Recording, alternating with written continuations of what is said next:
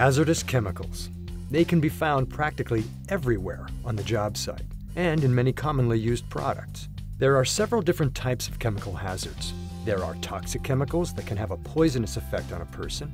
There are carcinogenic chemicals believed to cause cancer after exposure. There are corrosive chemicals causing visible destruction or alterations.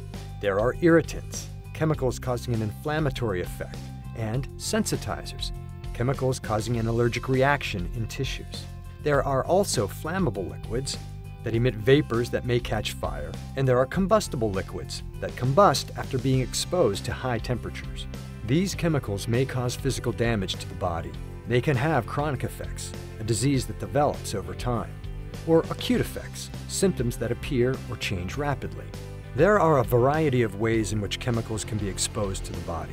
The primary methods of entry are inhalation, a chemical entering the body through breathing, absorption, skin contact with a chemical, and ingestion, eating or drinking of a chemical. Chemical safety begins with a written hazard communication program, which covers how chemical hazards will be addressed on the job site and will include a list of all hazard chemicals present in the workplace. All workers who may be exposed to hazardous chemicals should review the program. There are two primary methods to communicating chemical safety information. One, ensuring containers of hazardous chemicals are properly labeled, and two, maintaining safety data sheets, or SDSs, which are sources of detailed information on the hazardous chemical. Labels provide an immediate warning of hazards.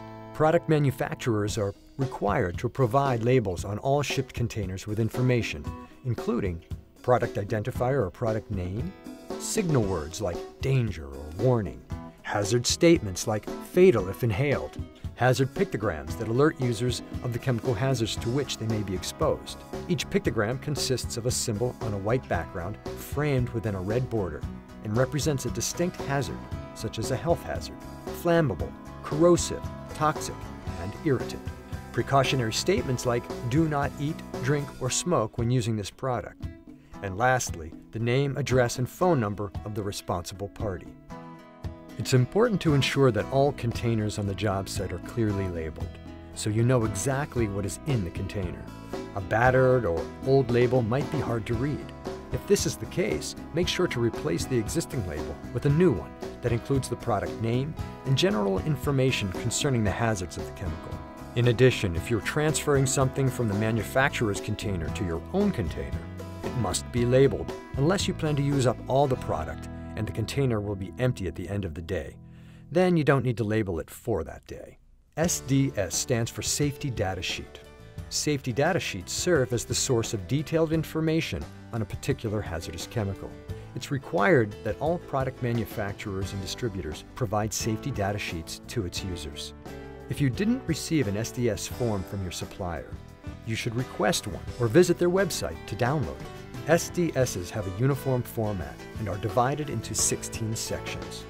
The SDS contains important information, such as the chemical's health hazards and flammability, first aid and firefighting measures, precautions for safe handling and storage, appropriate engineering controls, personal protective equipment or PPEs needed, and emergency procedures for spills.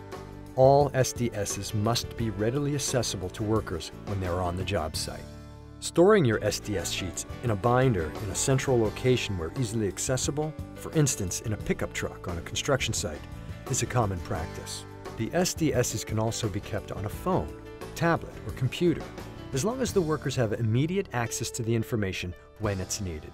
Also, in the event of a medical emergency, hard or physical printed copies of the SDS must be made available immediately to medical personnel. Finally, follow the appropriate safe practices when working with any hazardous chemicals. Familiarize yourself with chemical hazards on your job site, as there may be more than one hazard for each type of product. Before working with a product, read the safety information on the label and the safety data sheet. Use the proper personal protective equipment such as gloves, eye and face protection, aprons, and respirators. Chemicals should always be kept in their original container and stored in accordance with the manufacturer's instructions. Keep flammable and combustible chemicals away from heat sources.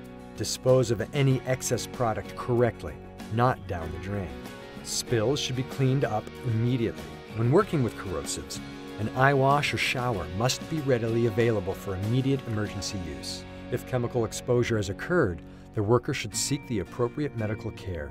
Workers using chemicals should wash thoroughly before eating, drinking, smoking, and leaving the job site. Chemicals are found all over the job site, and some of them are more hazardous than others. Container labels and safety data sheets will give you information about the hazardous materials with which you work. Pay close attention to the hazard warnings listed and always follow the manufacturer's safe handling, use, and storage of all products and chemicals.